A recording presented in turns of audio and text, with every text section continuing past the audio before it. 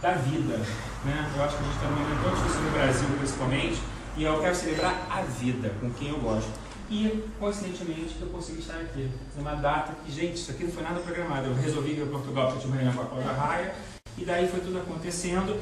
Soube que Pato Fábio Tassi, meu pai falou que o avião vai, tenho muitos amigos aqui, Regina, eu falei ontem ontem, e assim aconteceu. Então eu acho que essa reunião nada é por acaso. Eu pedi para o padre Fábio fazer uma benção para a gente, é, porque eu acredito muito no poder da mente e no poder da união dos pensamentos em comum. O Pranic Healing é isso, né? A gente quando se reúne para fazer um encontro, a gente reza para o mundo inteiro. Quem está naquela vibração, quem está naquela energia, sente aquilo. Eu sei que tem gente que não acredita, tem gente que não, que não compactua com isso, mas eu sou um cara de fé, eu tatuei aqui, fé. E a minha, a minha base da vida é o amor e a, e a fraternidade. Então eu acredito nisso. Então eu queria que agora, antes. Tem umas pessoas aqui que chegam até a emocionar uma rosa daqui. Ana Rosa, para mim hoje, você representa todas as grandes atrizes. Oh, olha só a responsabilidade. e é. E, o almoço que já está servido, quero agradecer a Fafá, minha amiga da vida. Outra coincidência, somos amigos há 30 e poucos anos, nos encontramos em Lisboa. Ela gentilmente fez essa feijoada deliciosa. A Rose, com seu espaço lindo, mundo vindo, muito obrigado por tudo. E...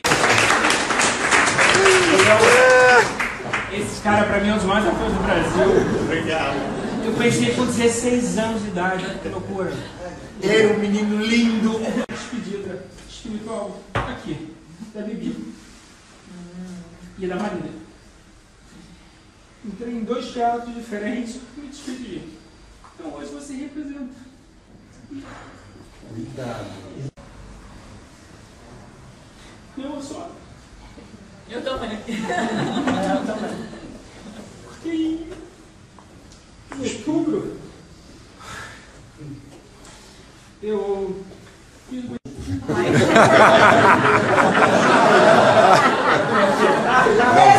Nenhuma peça. Ei, bem-vindo! Se fizer uma peça aqui, não convida ele. Então eu acredito nisso. Então eu queria que agora, antes do almoço, já está servido, quero agradecer a Fafá, minha amiga da vida. Outra coincidência, somos amigos há 30 e poucos anos, nos encontramos em Lisboa. Ela gentilmente fez essa feijoada deliciosa. A Rose, com seu espaço lindo, mundo vindo, muito obrigado. E tem umas pessoas aqui que chegam até a emocionar na Rosa daqui. Ana Rosa, para mim hoje, você representa todas as grandes atrizes. Oh, olha só a responsabilidade. E é. E, eu só. Eu também. Porque em outubro eu fiz uma despedida espiritual aqui, da Bibi e da Marília. Entrei em dois teatros diferentes e me despedi. Então hoje você representa. minha Cuidado. E me ensinou muito. Eu, como um homem religioso, lido com o discurso religioso o tempo todo, hoje eu perdi algumas ilusões em relação àquilo que diz respeito a mim, às pessoas que de alguma forma acreditam no que eu acredito. Estou cada vez mais realista em relação à minha fé, isso me faz muito bem. Eu identifico isso nele. A minha experiência me mostra que a espiritualidade é um caminho que passa pela religião, necessariamente, mas não é garantia. Pessoas religiosas nem sempre são espiritualizadas. Ao passo que às vezes nós encontramos pessoas que não são religiosas que são altamente espiritualizadas.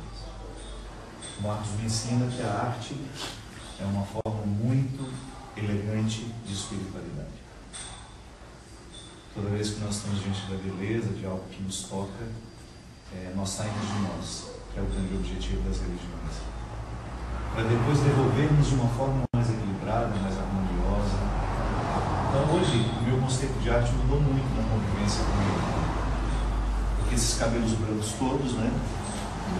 Os que já foram embora, né, não tiveram tempo de ficar brancos. Tudo tem nome. Tudo tem nome. São 350 artistas que esse homem cuidam, almas sensíveis e por isso muito difíceis.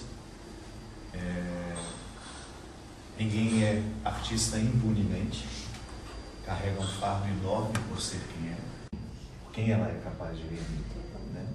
Somente uma pessoa boa aglomera tanta gente de qualidade do ponto de vista humano como Marcos consegue fazer. Como ele é católico, eu sei que alguns podem não ser, e esse menino tem uma habilidade enorme de ser espiritual com todo mundo que ele lida. Talvez por ter feito o caminho que Guimarães Rosa chama de a terceira margem do rio, por ter identificado que o bom espiritualiza com a amizade dele, com a boa palavra que sempre tem, com a sabedoria, com a inteligência. Eu fico muito feliz de saber que ele reúne tanta gente. Eu acho que é, as boas pessoas você, você percebe por quem ele é capaz de reunir. O da vida a gente não vê, ele é imperceptível aos olhos, mas altamente sensível à inteligência e ao coração. Eu me sinto muito feliz de ser amigo dele, de ter a oportunidade de estar aqui e de dizer que, como padre, ele me